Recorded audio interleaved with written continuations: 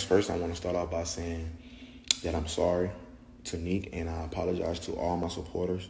Uh, I know it's been a lot of miscommunication, a lot of tension that's going on, and I know it's been a lot of misleading and a lot of um, exaggerating stuff that's been taken out of context and stuff like that. And I, I want y'all to know, um, no, I haven't did anything with Carmen, no.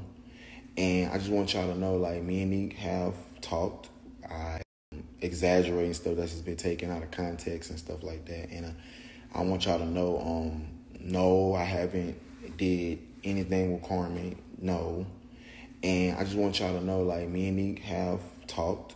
I before I came to this right now and said this, I wanted to make sure home was, you know what I'm saying, together before I even come explain to people that, you know what I'm saying, come explain to people because people gonna believe what they want to believe. And long as me and her have an understanding on more and knowing what we know and you know what I'm saying, we're not gonna feed back into the negativity or the energy like that. You know what I'm saying? I just want y'all to know I'm sorry for what happened on my part. I don't want